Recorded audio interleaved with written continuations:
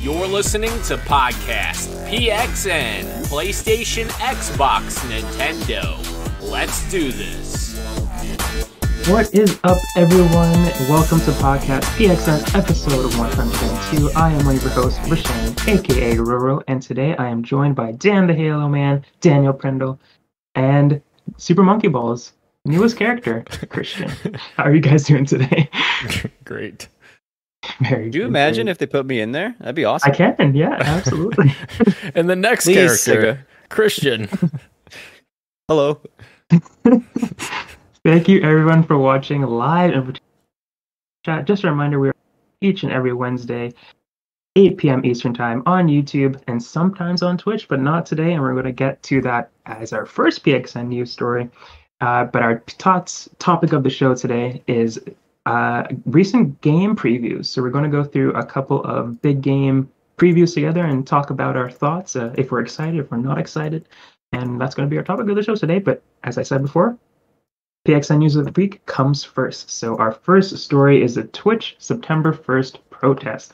So as I said, we're not streaming on Twitch today because we are, you know, partaking in this uh, this protest. It's called a hashtag a day off Twitch, where a couple of streamers came together to do this uh, this boycott, I guess, if you will, for against Twitch because of the hate raids that were going on on Twitch. So they decided to a bunch of streamers decided to take the day off and kind of stream elsewhere. But beside, I'm going to take a second to read from The Verge here. On Wednesday, September, 1st, a number of channels on Twitch will go dark as streamers participate in a hashtag a day off Twitch, a walkout designed to bring attention to the ongoing hate and harassment that's plagued the platform for the last several weeks.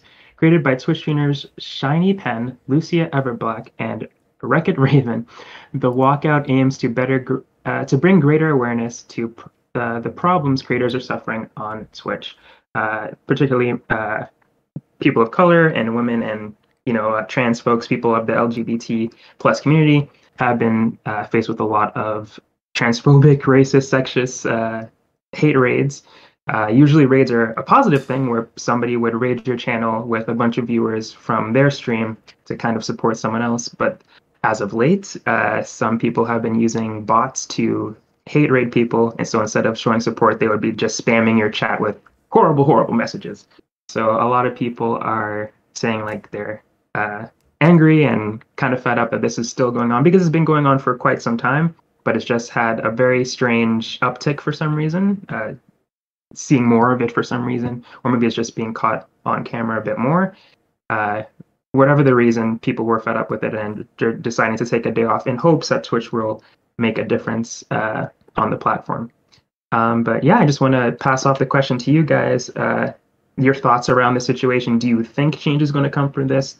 Um, Christian, what do you what do you think about the day off Twitch uh, situation? I hope so. I mean, it's it's essentially just like one big protest to get Twitch's eyes on on like, yeah, people are actually mad at our lack of an actual response. So much so that I saw today's Streamlabs actually uh, came out with like their own tools from their own um like if you have their their software, their platform, you can activate safe mode, which I thought was really cool.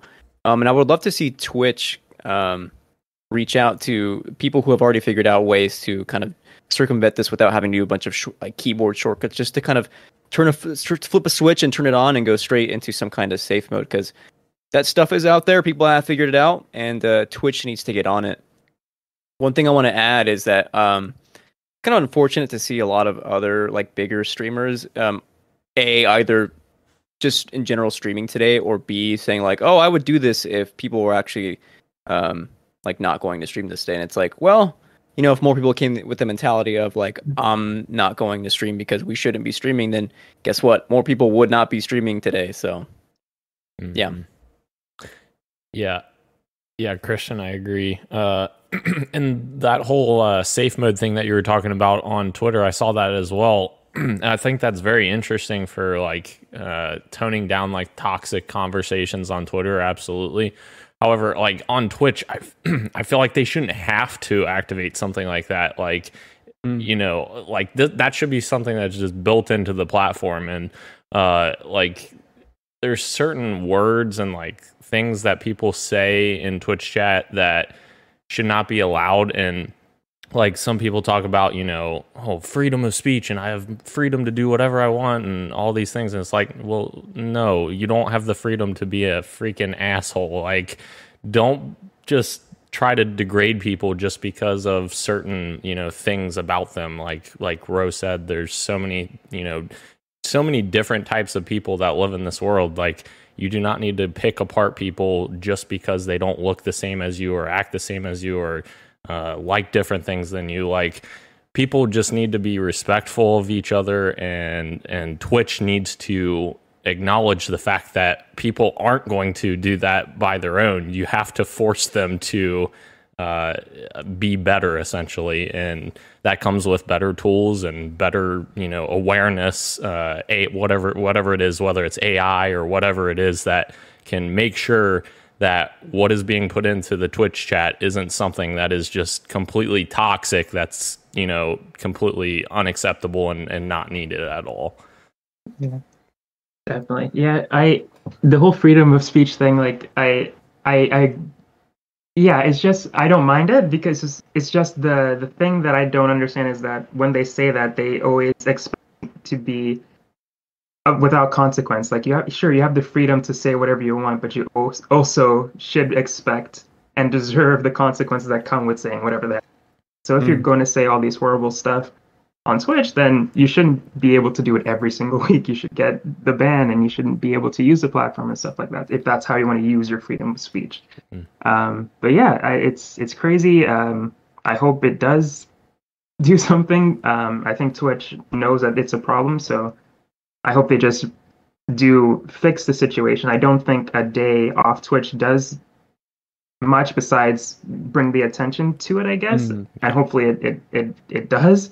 Um, I feel like a week long thing would probably hit them where it hurts a little. But if this does spark the change, and then, then great. Then I don't need to say anything more. Um, but I think um, what's really interesting, I don't think it has anything to do with the hate raids per se, but maybe it does but some two really big uh, streamers by Dr. Oh. Lupo and Tim the Tatman mm. are moving off the platform and are, are, going to be exclusively streaming on YouTube Gaming.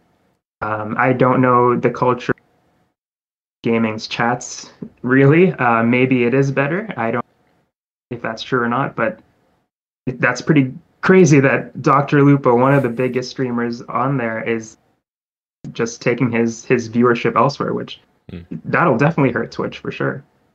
From from what I've heard from other streamers over the course of a few months, because I, I don't think it's entirely related to yeah. the hate raids. I think this is like has been happening for a while.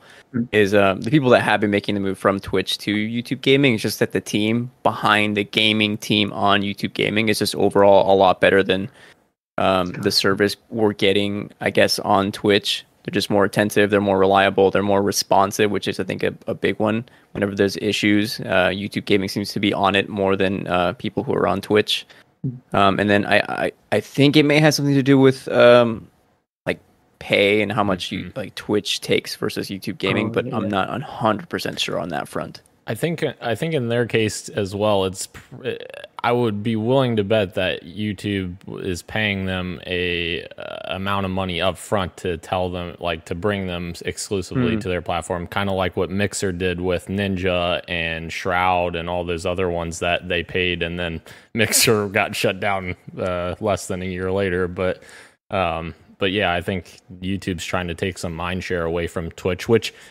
is a good thing. Like the fact that you know you have a direct competitor that is taking uh, stream popular streamers away from Twitch is a good thing because that's going to put pressure on Twitch to increase their uh, tools for this kind of thing for der- derogatory yeah. comments and and comments that people are making that are just hateful. So. Mm-hmm yeah it, it'll bring better like you're saying better tools all around whether it be for better compensation for streamers like christian was saying like better pay and just a better hopefully community like you were saying for the people watching and also streaming on the platform. So yeah definitely competition is good. So i'm glad that um, we are seeing some of that. Uh, moving on to the next topic and kind of sticking to like the same kind of mood that we're in. We'll hopeful change, uh, hopeful future. Um, the Overwatch team has announced that they are making a small but necessary change. They are changing the name of Jesse McCree. The Overwatch team planned to release a new lore focus event in September, but is delaying that to deal with the elephant in the room. The developers are changing the name of McCree, known for uh, the foreseeable future as the cowboy hero amid the sexual har- harassment and discrimination lawsuit levied against Activision Blizzard and other reports of misconduct. So Jesse McCree was one of the uh, one of the people uh, mentioned in the Cosby Suite and the BlizzCon whole sexual assault fiasco that we talked about, uh, I guess last month at this point. Mm-hmm. Um, but yeah, um, it's again, it's it is a small change, but it's definitely one that needed to be taken. So I'm glad that they are doing that. Um, Daniel, what did you think uh, about this? Yeah, there's uh so yes, this is absolutely needed and this was, you know, a long time coming. I do think it's funny though. I couldn't help but laugh at, uh, when you said that they're uh, making him known as the cowboy hero or whatever. It reminds me of the Washington uh, football team when they had to change their name because obvious for obvious reasons and similar you know capacity. But the, it's like pick a name. Don't just call it the Washington football team. Pick a new name. Like ah it's been two years, and but yeah, obviously this was a month ago, so they haven't had time to deliberate that and figure that out yet. But uh, yeah, it's super important for this. There was there was one conversation I didn't like that came out of this. I saw people online saying. Uh, like, oh, we shouldn't have developers' names named after characters in game, and like that's so like that should never happen, and all this. Personally, for me, like I think it's awesome to have developers' names in the game because like they worked so hard to um, make these games and make them so good that I don't think we should you know criticize the developers for putting you know developer names into the game. I think we should criticize them for putting bad people that work on the development team. Obviously, they don't know at the mm. time, but like one of the my I'll just give you an example. One of my favorite parts of Halo Combat Evolved, playing it back in the day, was like seeing your Marines that are joining you uh, throughout the campaign. It picks from a random uh, name generator from all th- employees that worked on the game. So like even when you play the Master Chief Collection, Halo CE, you're playing and you get n- random names put in from the original development team from Bungie back in the day, which is I think that stuff That's is nice. so cool. Um, so I don't want to take away from that kind of stuff, but obviously in situations like this, you have to, you know, do something about it. You can't leave that because that legacy is like tarnished. You can't obviously keep that, but I I missed a lot of this conversation on this day when this article was broken just because I had a lot of stuff to do at work. So I was mostly off the internet this day. Um, I do agree with with Roe that it, it is a, a positive step, like a direction that we want to see moving forward. I also agree with Dan that like it's always nice to service the the team behind the game you created by you know um, idolizing is the right word. Immortalizing them i guess in some mm. way by placing them in in the art that they're creating. I think that's very cool. The halo uh, uh, example i think is like super touching. I love that. Um i i did hear there was like some discourse on like uh, against this that uh, uh, the Overwatch team wasn't doing enough. Does anyone know about this? Did anyone hear uh, anything about that? I I I heard a little bit about that. That this that this move was not is essentially they're saying that this is not enough, which I, I agree with. But I think the first step in hopefully more steps to to change the gotcha. culture there. But I think people okay. were just upset that like, oh, this is all that you're doing, which is at the same time like I understand, but like we have to start somewhere, sort of, sort of thing. I don't know if you heard anything more, but that's what I that's what I heard. Okay, no, I was just curious because yeah. I, I missed a lot of it, but I wasn't exactly one hundred percent sure. Yeah, I mean, even like reading the like their their post that they made on uh, online, like the article, it seemed like it was going to be like a, a, just the first step, right? So yeah, well, that's what I thought too. Yeah.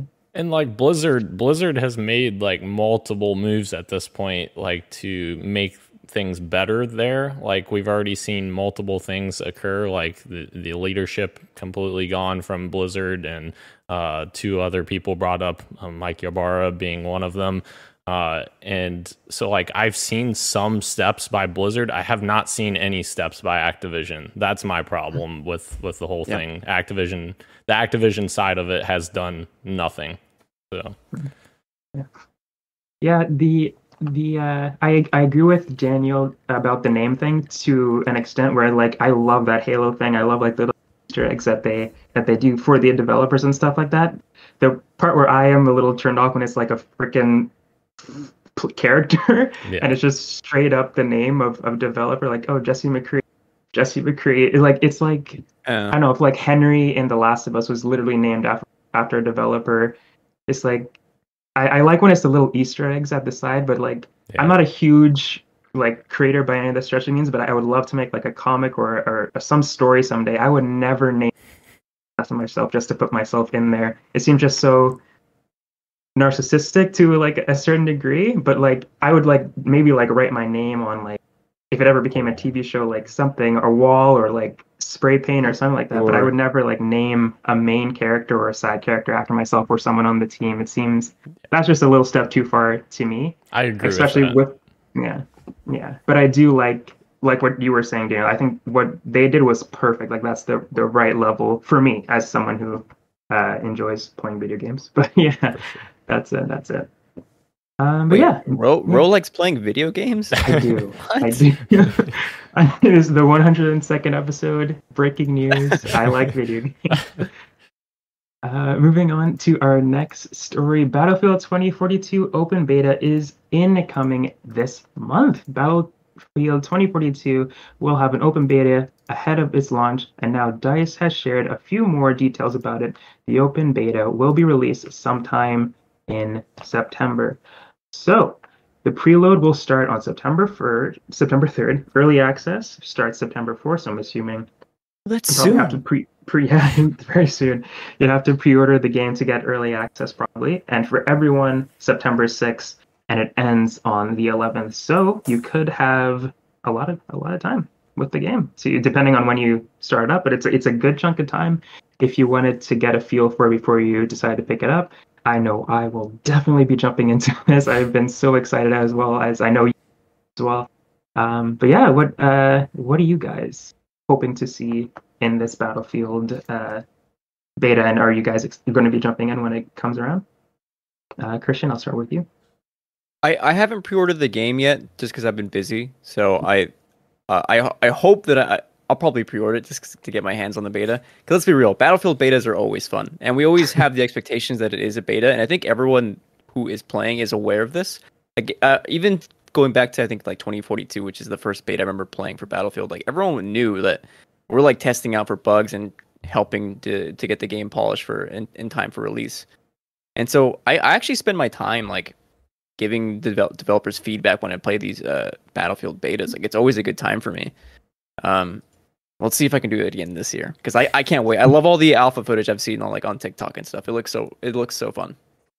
Yeah, I mean, seeing as I've never played this before, and this would totally be the first time I've played it before, I am definitely excited about playing this. Uh, but uh, yeah, I- I'm interested to see what they have on offer, like Christian said, and uh, it's awesome that they're giving people um, a long time with it as well. Like if you pre-order it, you essentially get over a week of playtime with it, which is pretty awesome.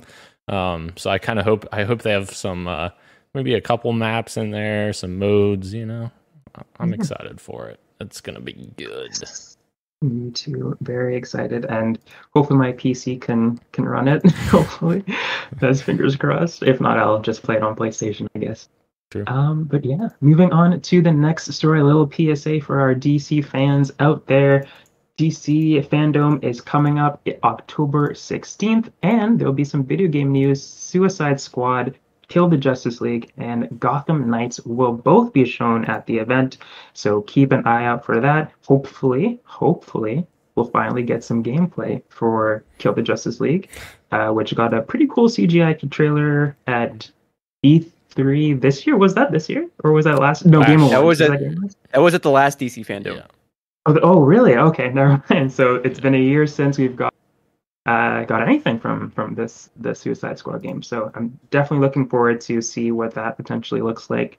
Um, Chris, uh, Daniel, are you excited for potentially some gameplay for this game, or is this not something that is really exciting? Yeah, I'm still I'm still intrigued by Gotham Knights. Uh, I enjoyed all, all, the Batman games, obviously, so I'm definitely down for Gotham Knights, where it seems to be you know a mix and mash of that, obviously without Batman.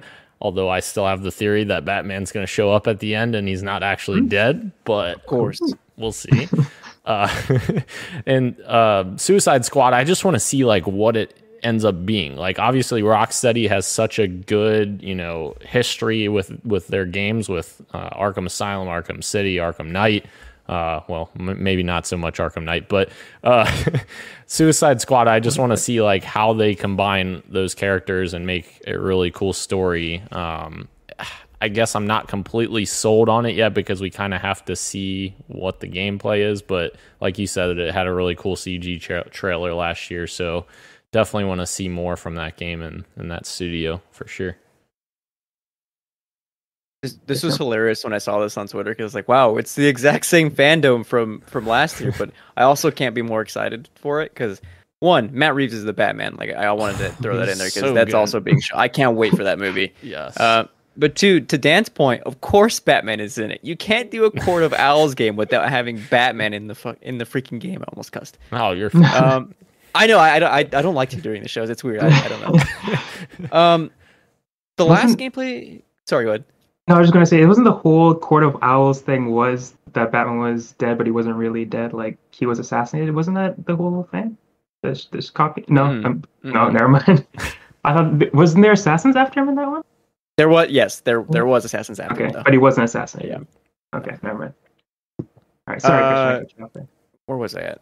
I, oh, the, the gameplay for for what we saw for Gotham Knights actually turned me off. Like, I don't like the MMO uh, take on, on like what I would have loved to be like a narrative driven game. That said, there still seems to be a lot of narrative in it, so I'm curious to see more. Like, I hope that they're able to sway me and make me more excited for with whatever they plan to show next. And yeah, you guys both said it. Like, I can't wait to see what Rocksteady's doing with um, the Suicide Squad game. I don't love that Superman's been the bad guy in a lot of uh, yeah uh, fiction lately, but like yeah, I still trust that Rocksteady can make a killer story. So like, why not? That is true. Like literally, like what both Injustice games, I think he was the bad guy too, and yeah, it is. Yeah, and then even stuff like the Amazon show where it's like yeah, essentially mm-hmm. superhero mm-hmm. stuff, but like the dar- the darker take on Superman. It's like it's getting a little tedious. Like I would love to see a, a happy Superman, like from the Superman animated series, like when I was growing up, or mm-hmm. or Justice League. But either way, I'm excited.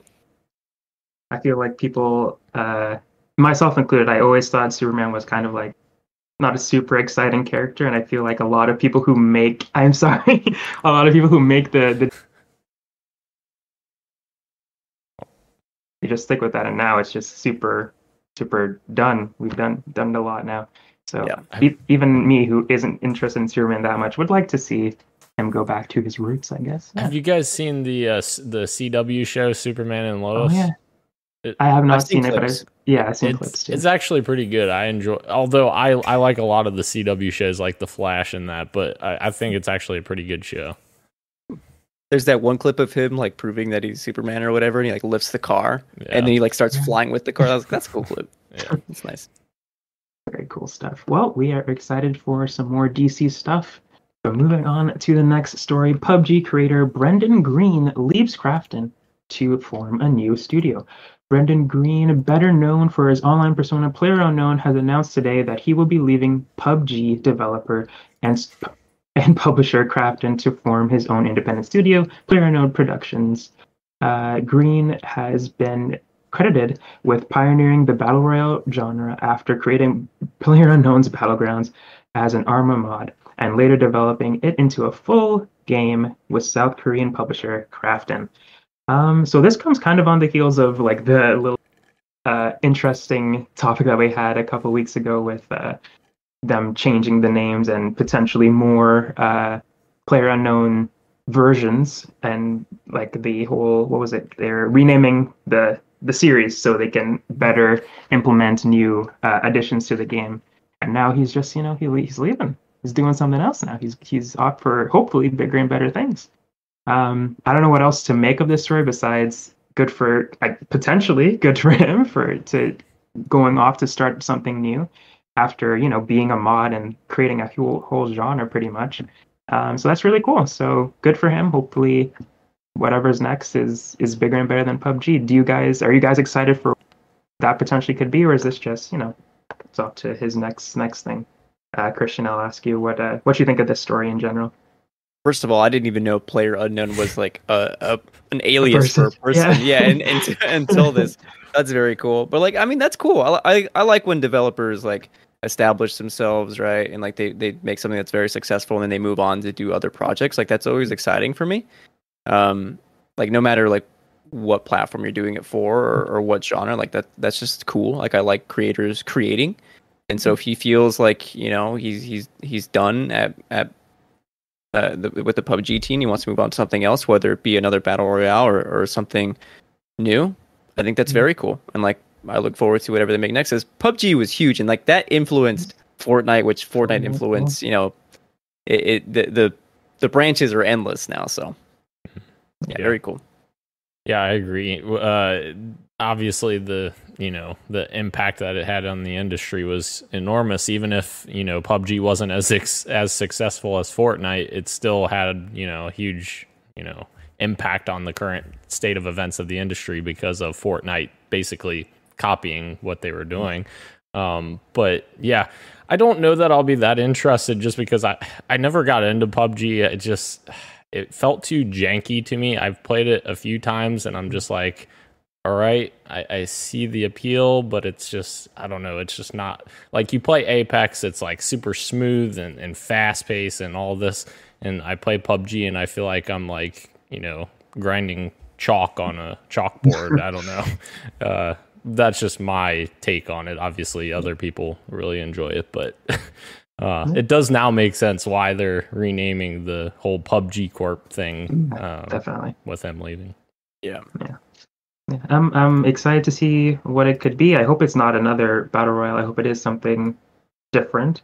Um, but it, it is interesting. We're seeing a lot of new studios pop up this year, and it's it's it's exciting to see what could uh, possibly be next. Um, but moving on to our next story, Life is Strange TV adaptation is in the works. I'm reading from IGN. Kim, The Life is Strange TV ad- adaptation is in the works and is now enlisted Grammy nominated singer Shawn Mendes to oversee the music series. The series, uh, uh, oversee the music for the series. Why are you guys laughing? What's going on? Why is Dan laughing? because while we were on the previous one, I just made uh, your first word bigger and bolded because it says oh. Schwan Mendes. Oh. so I thought we were talking I... about Schwans for a second. Oh my goodness. Uh, I'm laughing because they because they took uh, our idea from the show and Emmett's idea to turn Life and Strange into a, a, a TV and or a movie property. Yes, oh, exactly. That is true. I was when I saw this, I was like, "Oh, they were doing one all this time," and I just, I just thought it would be a good idea. But yeah, they they've been doing it all this time, and I, I wasn't such a genius after all. this is really, really cool. Um, I don't know how you guys feel about Shawn Mendes as a singer or artist in general. I've only really heard his his hit music, uh, his hit songs, I should say, on the radio ever so often. But I feel like he would like kind of fit the mood for Life is Strange, based on what I've heard. Um, but yeah, uh, Daniel, what do you think about uh, Shawn Mendes overseeing music? Are you a Shawn stan? Are you and are you excited for the Life is Strange uh, TV adaptation? Yeah, yeah, I, th- I think that would totally make sense. Like uh, that kind of like I don't know how to like that teenage, you know, not teenage, but like that drama type thing. I feel like that would fit well with the music that he uh he puts together. So I feel like I don't know. Obviously, I've never played Life is Strange, so I might just be making crazy acu- accusations about it that aren't even, you know, mm-hmm. accurate. But uh, well, I've played I've played the first Life is Strange, but then I kind of I was like, all right, this isn't mm-hmm. for me. I gotta mm-hmm. step away. Um, but yeah, I, I think it I think it'll be a good fit. But what do I know? I'm not a Life is Strange fan. What do you think, Roro? You're the. oh, I don't. I want to know Ro's opinion. Yeah. yeah. Well, I I just continued reading uh, this.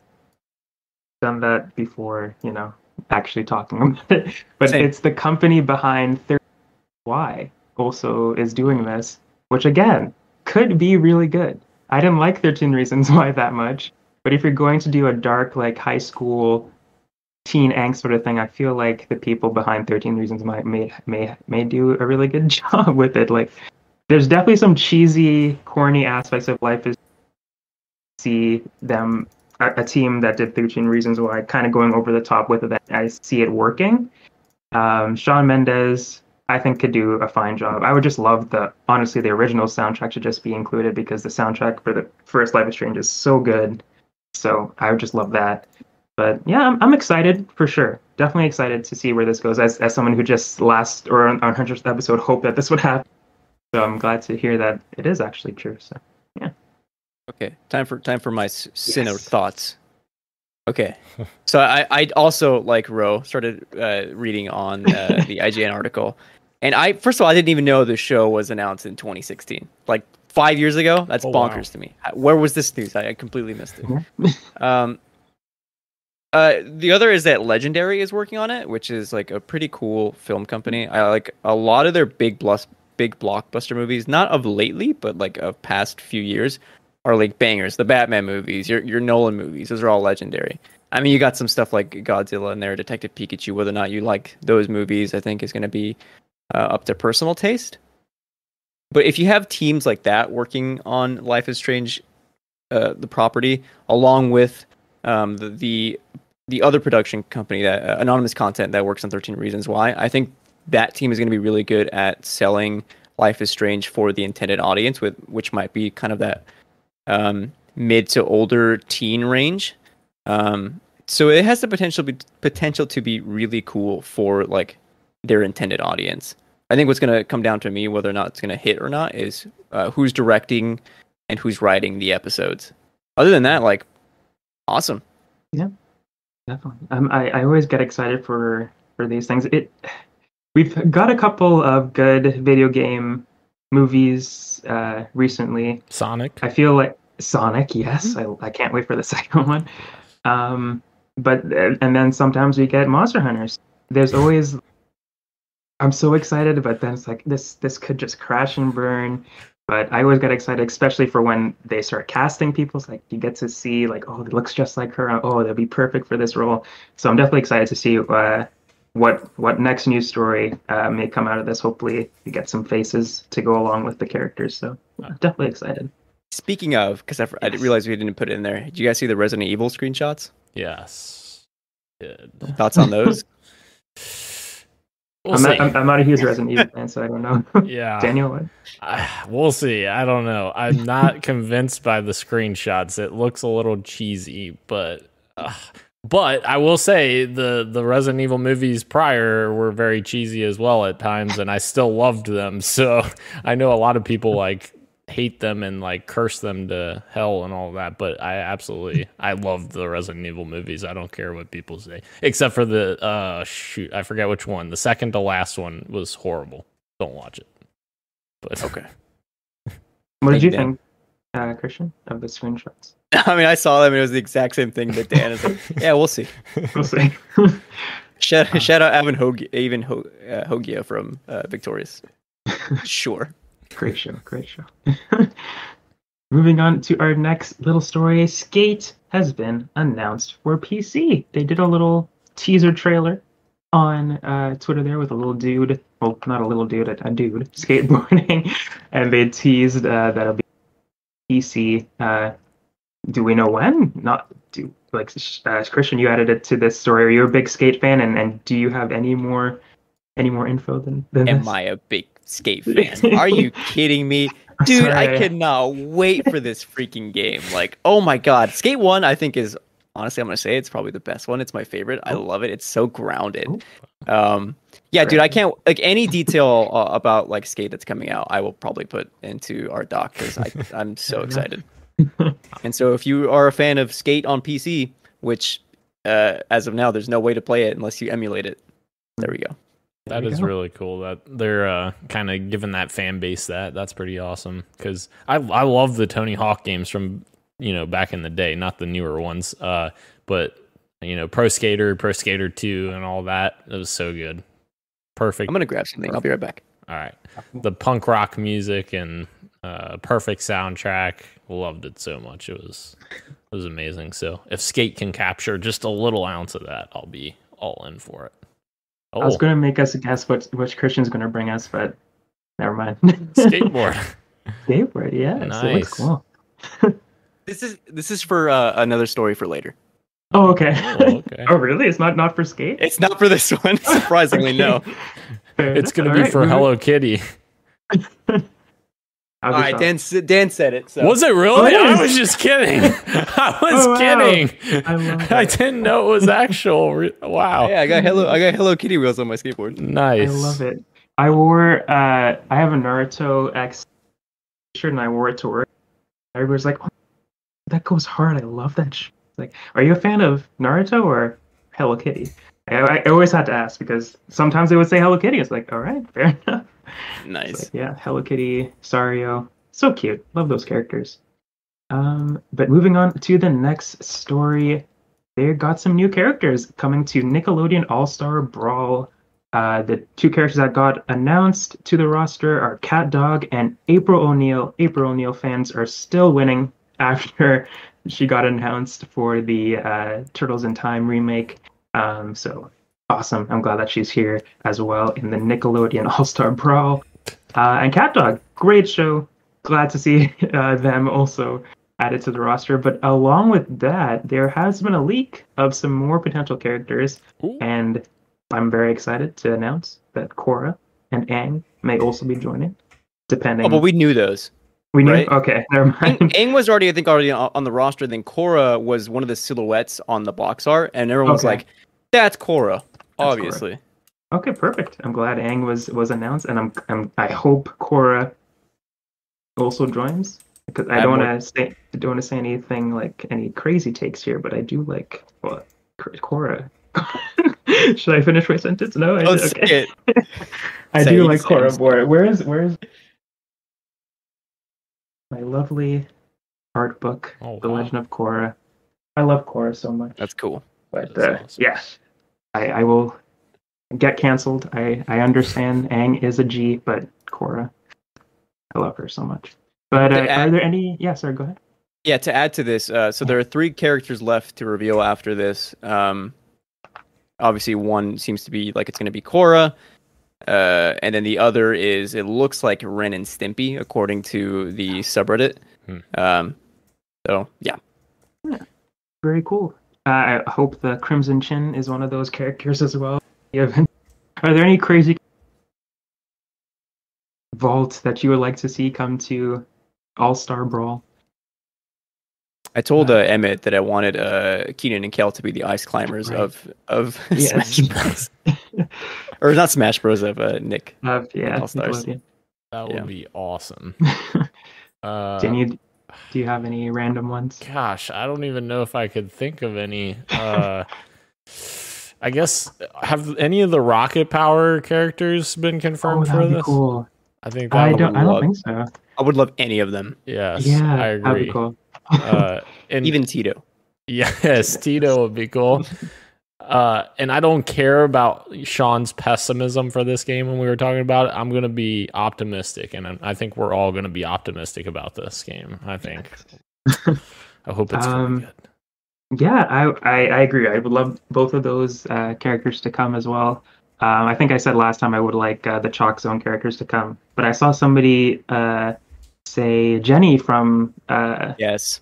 from My Life as a Teenage Robot. That makes so much sense. That would be awesome if she was at it. So yeah, this is this is really cool. I'm I'm, I'm enjoying it. Every just okay. I'm I'm excited. I'm intrigued. Add some more characters that I like, and I, I might buy the game. Yeah, definitely. I think there's a little bit too much uh, double dipping in the series. Like there's um three or four SpongeBob p- characters. Yeah. Um, Reptar is a character which is just strange. Uh, Helga is another weird one. Um, and then uh, Nigel Thornberry is another strange one. Like, come on, like Jenny would have been awesome. Yeah. Yeah, and we and we just gave up gave you guys a bunch of ideas that you could have used instead of all the SpongeBob ones. So You, you know at- what? At the very least. You know what? Nintendo brought every single Smash Brothers character in the history of Smash Brothers to Smash Brothers Ultimate. The least they could do is bring every single Nickelodeon character to this At game. least, at least they Make can. it happen. Moving on to our next story, a little tidbit here. Death Stranding may be getting a sequel. Uh, who's the source, you may ask? Norman Reedus, none other than Norman Reedus. I think, uh, this is a quote from him, I think we're doing a second Death Stranding. The game is in, negati- in negotiations now. So, yay? um, yeah, I, I know, uh, Christian, you're a big Death Stranding fan. Is that correct? I mean, Am yeah. I a big Okay. Death Stranding fan? I'm only making a 40 minute terrible- video essay on it. And uh, Daniel, did you ever jump in? Or you jumped into it, but did you finish it? I did not jump into Yeah, it. me- I- oh, we did not jump into it. Okay. No, I I just don't. I never thought it would be something that I'd be interested in. Uh, some of the newer stuff that they've been adding, though, I feel like would interest me, like the stealth stuff and like the ac- more actiony stuff. Uh, the whole like delivery aspect, I was just like, uh, I don't know if that would be at my alley. That's the best part of the game. delivery. It is, yeah. I, I, I jumped in. I haven't been with what I played so far. Um, but yeah, I was gonna I was gonna ask Daniel uh, if the if the director's cut was something that interests you, if it if you piqued your interest at all to to jump back in, because I think that's an interesting question.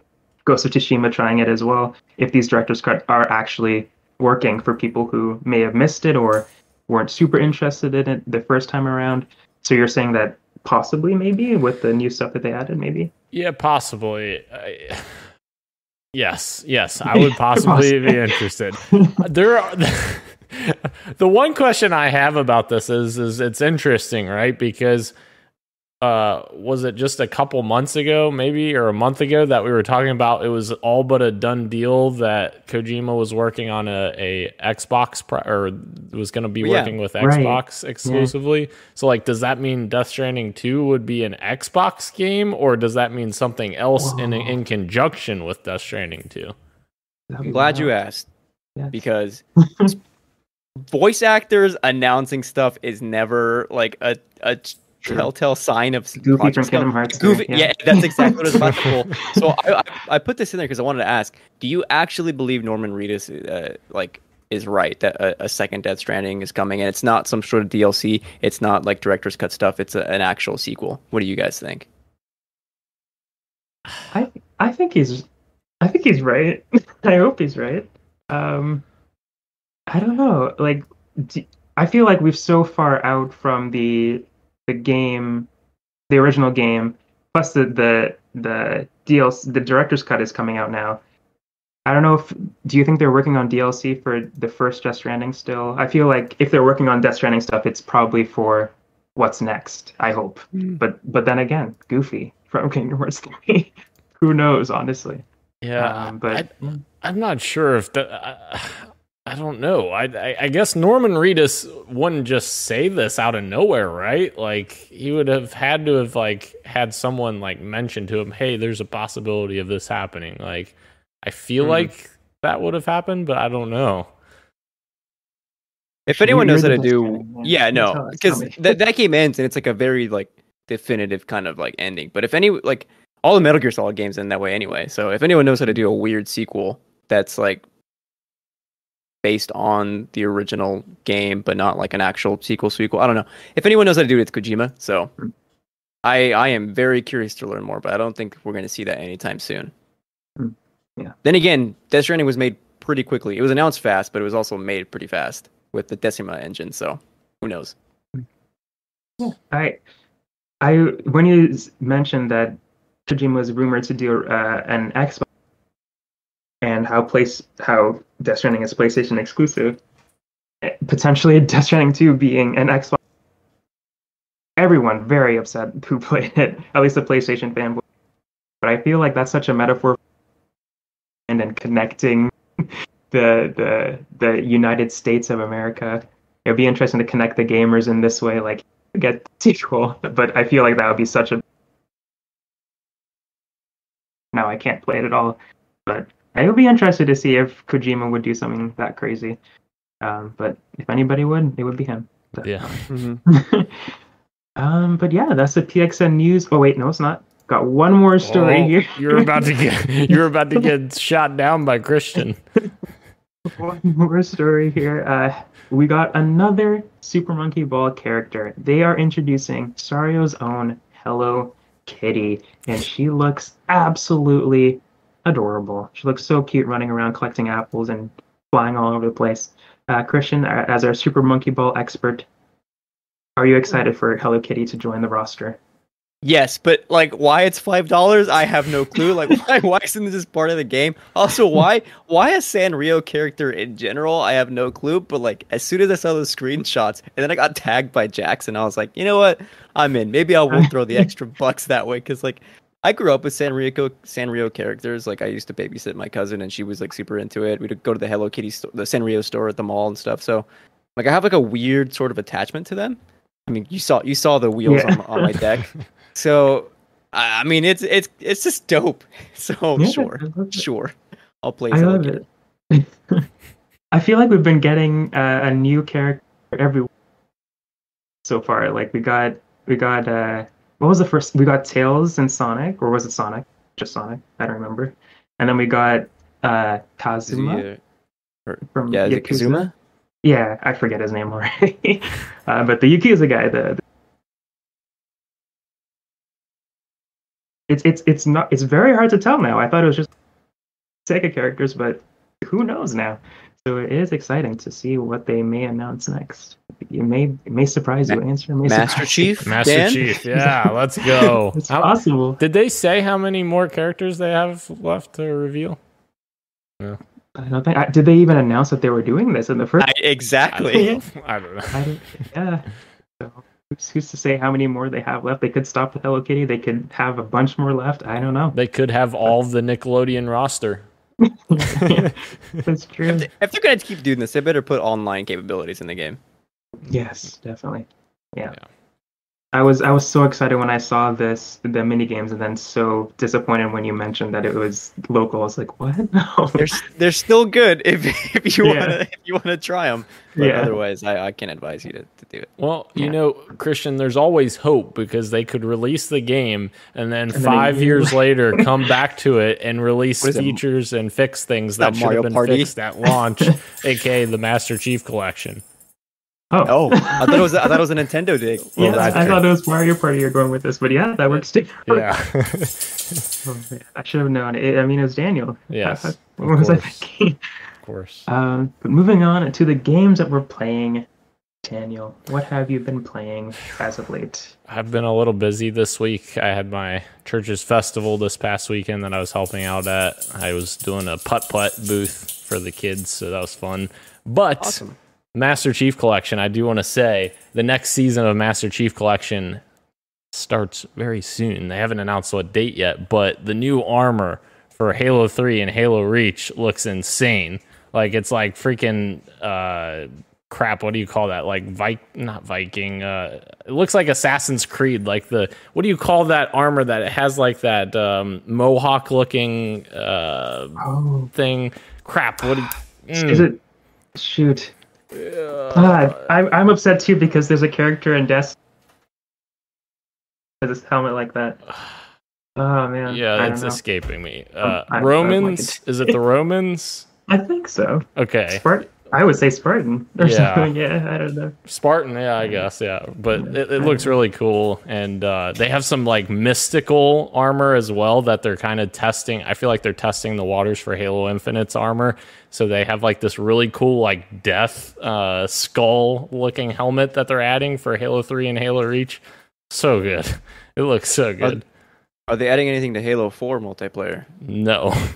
And there's a Hmm. very good reason for that. I They- guess I won't be playing. That is actually that is a good point though, Christian. They've been adding like they added a lot of stuff to Halo 3 and Halo Reach because those are the two most played games on Master Chief Collection, but the other games really have gotten, you know, pushed aside essentially. Like they've gotten some content, but Halo 3 and Halo Reach have gotten 90% of the new content for MCC. I mean, that's what everyone plays on MCC anyway, so it makes sense. Yeah. So that's all I got. Christian, what have you been up to, sir? Yeah, I'm still been playing a lot of Mario Golf with my my buddies. Um, one of them had uh his his wife had, was like out of town, so we like were hooking up every night playing the uh, more Mario Golf. We tried New Donk City. Uh, I think I mentioned that last week. I don't remember if I did or not. And then we also tried the motion controls on Mario Golf, and it was just it was terrible. I still managed to come uh, out under par for our 18 holes, but it was rough. Otherwise, like what a game! Every, everything inside the campaign sucks. Everything that's like a multiplayer, what a blast. uh, and I, then I I've been, still need to get get that game. it it's fun. The multiplayer rocks. Just standard golf Mhm. rocks. So I if you're into that, check it out. Um, and then I, I tried out uh, Psychonauts 2 um, Ooh. earlier last week, and uh, I regret to inform that I do not like it. Oh, no. Al- Although I wish I wish I did. Yeah. Are you a fan Uh, of the first one? Yeah, I, I I never finished the first one. I even tried it again on Game Pass, and I was like, this feels too dated for me to like go Mhm. back and actually finish. Even though I think like Double Fine's cool. Like I love the art style, love the humor, love the writing, right? Um, and then I played Psychonauts 2, and it was like essentially still the same. Where I felt like uh, the combat and all the platforming was still stuck from like two generations ago. Um, and then one of the biggest issues I have is that um, every time you enter a new area, which happens a lot in this game, um, you're constantly stopped by by dialogue that doesn't happen like actually in game. So it's taking player away from controller, um, and it it continues even during uh, boss battles. Like I fought my first boss at the end of like the actual first level, I'd consider it.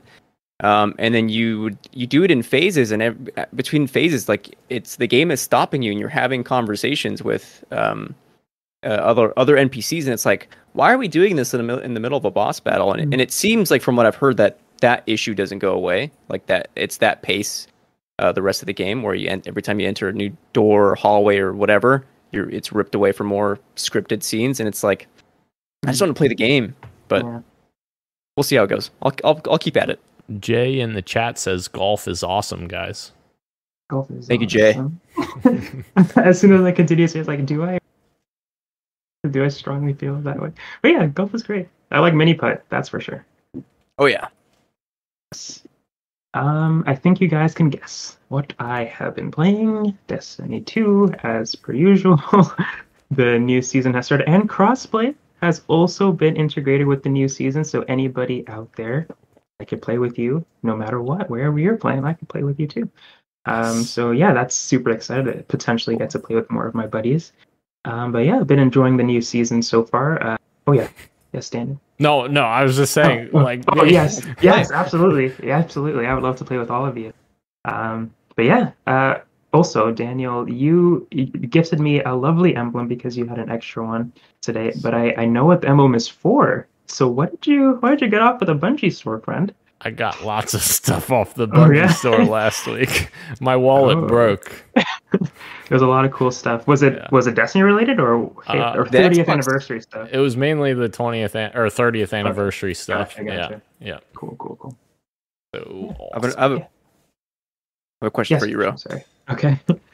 I know I know Lake dropped today, but you've also been playing Road 96, and I haven't started either. So I wanted to ask you if you think I should start with Lake tonight, or if I should um, go for Road 96 and catch up on some some sweet indies.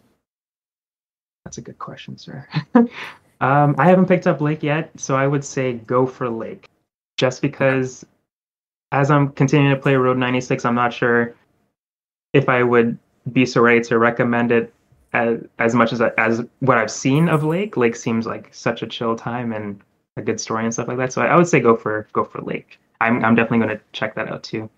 Um, but I think you could wait on Road 96. Yeah. Thank yeah. Yeah, no problem. Um, but yeah, that's the games that we are playing. I, I hope next week I'll be able to tell you about Lake. I'm I'm actually on Xbox Game Pass, and there's a game that just called Craftopia, um, and most of their description is just saying how this is a, a game under development, but it's an MMO action adventure.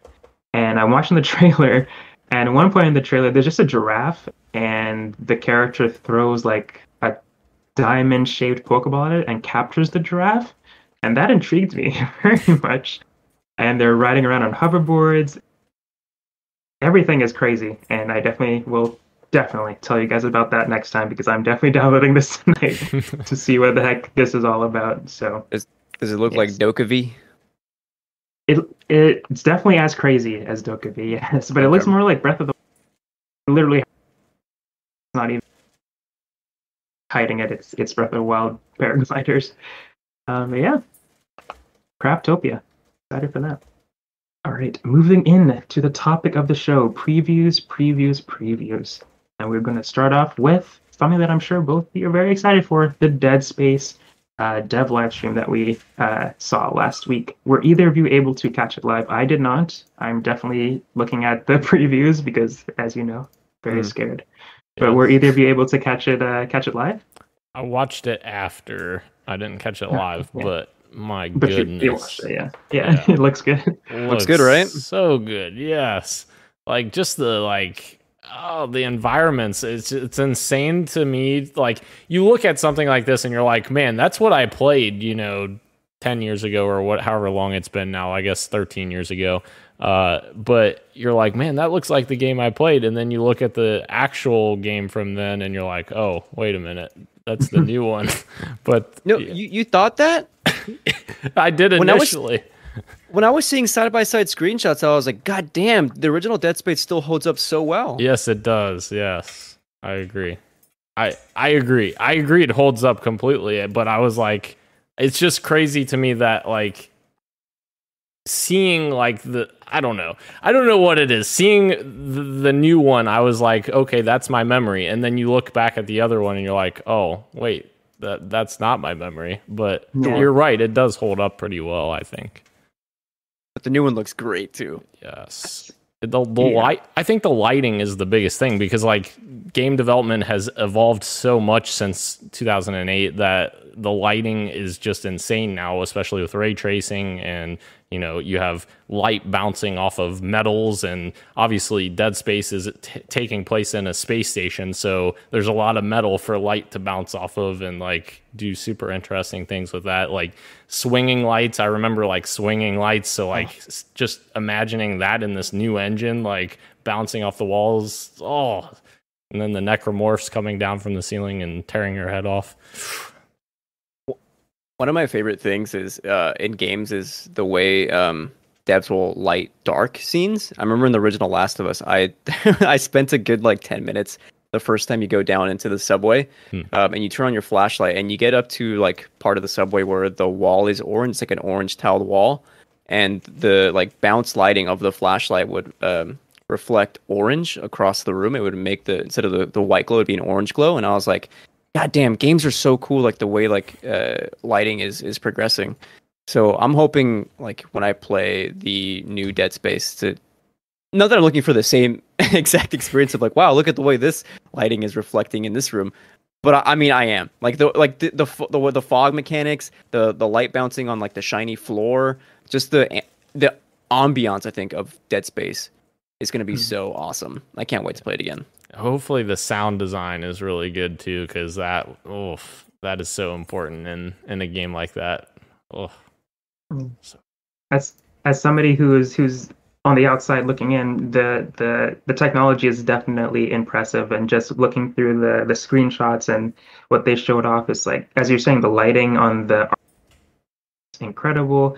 Uh, the interesting stuff that they're doing with the the combat, like uh, I'm reading from the Bellion on on Twitter here.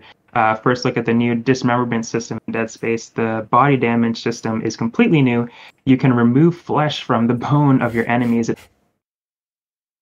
I love stuff like that, where it's not like in your face a, a huge health bar. And so, like I love it in certain, but when you could just like look at the person that you're shooting,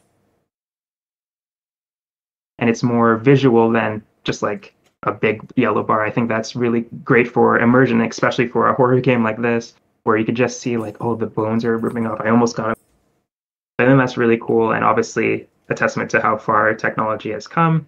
And the zero gravity room, which is something that doesn't, I don't know what that means, but I, that sounds awesome. I'm looking at the screenshots here. Apparently, there's a there's a moment in the it's zero G's, and apparently they overhauled that uh, mechanic f- to allow for more 360 degree freedom. Uh, thrusters like in uh, Dead Space 2 are going to be there, and new paths and environments with new challenges. So they're also adding a couple of new uh, ways to, I guess, navigate that room too. So definitely some cool stuff for fans. And the original voice actor of Isaac is back. Yes, And that's really cool too. and he didn't speak in the first game at all. So like this is going to be really cool to see like what dialogue they they put into the game to kind of enhance the story. Dead Space is so cool, Dan. Are you excited? Yes, I'm very excited. Yeah. And I I- love I that want Ro Gunner Wright's it. coming back. Like he's amazing Mm. as Isaac. Yeah, I There's a I agree.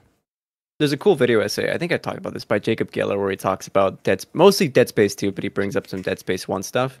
And it's a cool like a, like the first few minutes is just like a look at the character of Isaac because he's just not like an action hero. He's just an engineer. He's this like bulky dude who got thrown into this mess and he's got to figure out a way out. He's using repurposed engineer tools to to like fight fight his way out. And like, I love it. I'm so glad it's back. Yeah, that's and what you were saying, Roro, about the uh, new dismemberment system and like peeling away like the muscle and tissue from the. Oh, that sounds so cool, Sounds so cool. It Ugh. does. man. Moving on to our next preview, Elden Ring got a 15 minute behind closed door uh, preview for a lot of game industry folks, and they shared their thoughts with the rest of us. Um, I've got a little bit of tidbits here, but Christian, was this the game that you said that you have a, a little bit? Yeah, it's the same stuff from Nibellion. So if you're gonna Okay. read his stuff, then go ahead. Yeah. Okay, yeah, I was just going to read the little tidbits that he's got here. Um, he says new Ed- Elden Ring details. Uh, we've got some fast travel from anywhere, so that's always awesome in an open world game. Uh, many optional encounters, uh, multiple paths and endings, plenty of lore. Uh, archers and magicians can fight from from horseback too, so some different variety in the enemy. So good for an open world game. Uh, legacy dungeons that are separate from the overworld um, as well as stealth mechanics that are similar to Sekiro. So any Sekiro fans out there, that might be a plus. Uh, new mechanic, guard counter, strike after a normal block, but that strike can be countered as well. Uh, enemies have a stand slash balance that can be broken. Hub with NPCs confirmed, and a Moonlight Great Great Sword not confirmed yet? Question mark. I don't know what that means, but There's not there's confirmed. always some kind of great sword like this in all the the Souls games. So Okay, gotcha.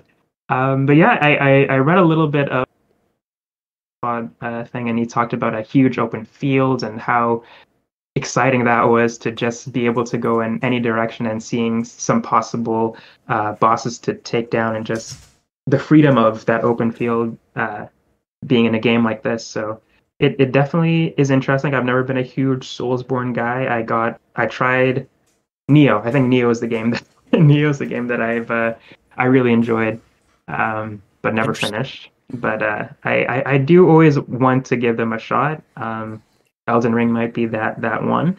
Um, but yeah, what did what did you guys think about uh, the previews that we saw for Elden Ring? So I'm I'm not a huge Soulsborne guy either, Ro. So uh, obviously I'm excited for the here. I'm excited for the fans of this this style. Uh, I have one of my buddies that I went to college with. He's a huge uh, Soulsborne fan, so he's been very excited about this as well as you, Christian. Uh, and uh, yeah, I think it's cool. Now, my question is: It says fast travel from anywhere. Does that mean like what if you're in the middle of like a boss battle? Can you just fast travel out of the boss battle? I wonder. you probably wouldn't you probably wouldn't be able to. Okay. It'd probably be like other Souls games where you you go behind like some kind of curtain of fog.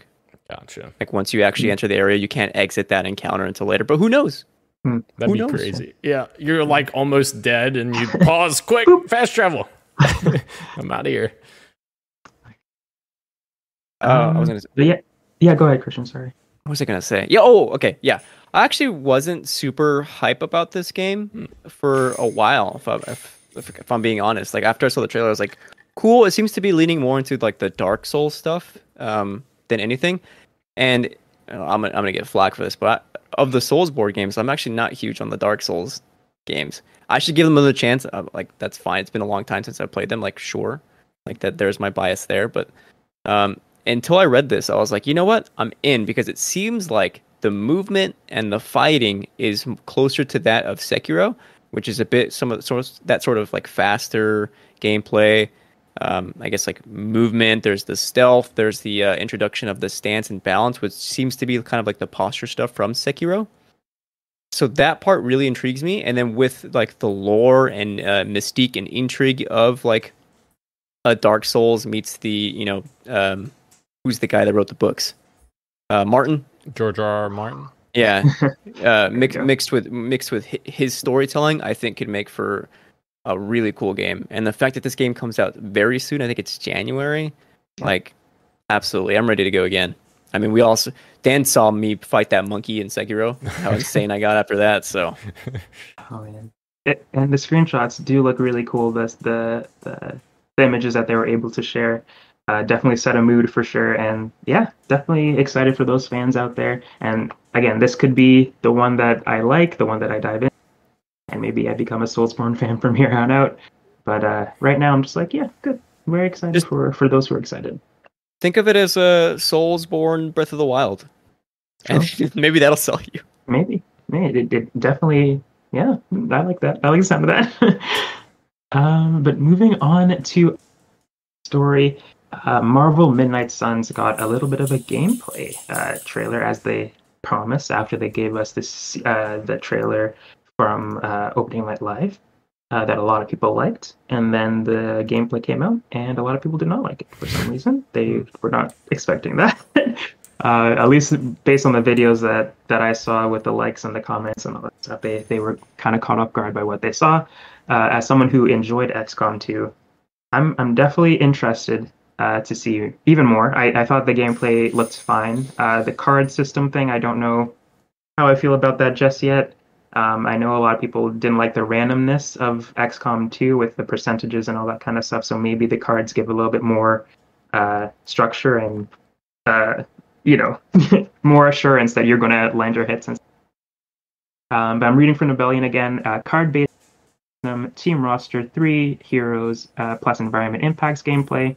Uh, cards can be upgraded. Social system that impacts tag team abilities between heroes. So uh, the social system I thought was really cool too, kind of akin to the Bioware games where you can kind of um, communicate with uh, the different superheroes on your team and form a bond with them. And the stronger the bond, the stronger the cards. So you get uh, a bonus for uh, forming a bond with Tony Stark or Magik or, or whoever else team. And I thought that was really cool. Um, I just want to go on a little rant here as I as I did last week with this where we we I think they should just be accompanied with gameplay or or for uh, a, a or for series that ha- have been established like what you were saying last week Dan your Halo thing I I am totally fine with that that is that totally makes sense that trailer was so hyped I can only imagine the the Halo uh, uh, trailer and stuff like that is totally fine I, it's a it's a game that we know we know what it's like but then you have stuff like Marvel's uh, Midnight Suns, where I don't think the general audience knew who the knew that this was going to be a strategy game. They see Marvel and they're like, "Oh, this is going to be a cool action game. I, I can't wait for that." And it's not to the fault of the developers, I guess, but I just feel like the general audience doesn't know Mhm. that stuff. So it's it it only hurts them by the time they're showing the game game off. So I don't know. That's just how I feel about the CGI trailers right about now. Um, but yeah, back to the actual Midnight Sun stuff. What did you guys think about what are did you were you turned off by it or is it something that you're uh, Christian? Uh, I'm I'm of two minds because I think uh, an Ultimate Alliance style gameplay would be a lot of fun, especially considering like it's like a team game and the story seems intriguing. So uh, I can see why people are upset and like bummed that it was like some kind of strategy game. But honest, honestly, I think the card system kind of intrigues me. Like the the, the idea of a, a strategy behind combat is always kind of interesting to me, and it's always kind of like that that weird like loop gameplay loop where it's like I feel smart by you know picking the right cards, the sequence of cards, right, and and picking um like overcoming uh not through like brute force, but like by by thinking essentially. Um, that said, I'm not huge. I'm not a huge XCOM guy, but I, I I- I would consider probably trying this out or watching someone stream it. I'm leaning more towards trying this out though. Yeah. Uh Christian, I actually agree with you. Like before this, I was like I don't know that I was actually that on board because uh uh, I'm not a huge XCOM guy, but actually after this, I think I'm more interested after seeing the gameplay because like I like kind of the card aspect of it uh, as someone who played a lot of Hearthstone when I was in college. You know, like going between classes and you know waiting for my next class to start. I would play a ton of Hearthstone. I loved that game. Um, so actually, the card system was pretty exciting for me, and they did sh- they did say that um, I believe they said that there's no microtransactions for cards or anything, so it's not like you know it's not a predatory system or anything like that. So honestly, I don't think that you know I don't think that it's a huge deal, and um, yeah, it actually got me more excited to kind of check this out. So, and High five, Dan. yeah, if anyone can't tell uh, on the YouTube stream, my camera decided to stop working, so I just turned it off. So, uh, but yes, high five, Christian. I, even though the viewers at home can't see. But yeah, as as you said, the microtransactions are just for cosmetic uh, stuff, not for the cards. So it's not play to win or anything like that. Um, and that is absolutely how you get my money in a Marvel game. Marvel Avengers is just like getting a cool costume. I'm gonna gonna throw some money at you. So definitely, they're still gonna get the money that they that they uh, that they want. So yeah, uh, I'm glad that you guys are interested. I'm definitely interested as well. Um, I just still come down to the fact that just show off the game when you're ready to just Sure. save the disappointment for. Uh, it sets it just sets people up for for disappointment when the gameplay is is, is out. So Honestly, for me, at the end, at the end of the day, if the narrative is good and if the gameplay works as it's intended as it's intended to, and it's fun, I think that makes for a solid Mhm. game. absolutely. yes, agreed.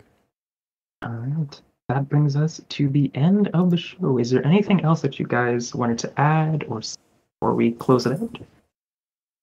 No, I don't think so. Hydrate, get the vaccine. I get the vaccine. Yes, absolutely. I echoed those statements literally. Um, but thank you, thank you everyone for watching both on YouTube and just YouTube. I'm sorry. uh, I- but thank you. You may may have been listening on podcast services around the world, including Apple Podcasts, Google Podcasts, SoundCloud, Spotify, Stitcher. Thank you, everyone. Thank you, Christian. Thank you, Daniel. Much love. Later will be greater. Much Keep love. on rolling.